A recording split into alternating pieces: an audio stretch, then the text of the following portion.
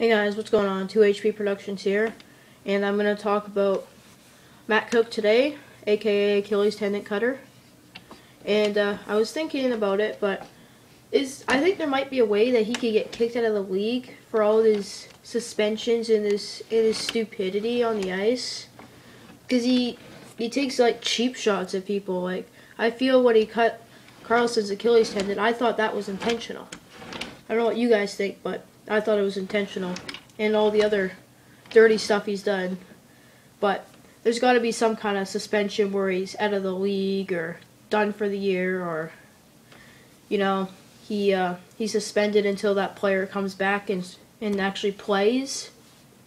But yeah, I think there has to be a punishment for him because he's he's just dirty out there.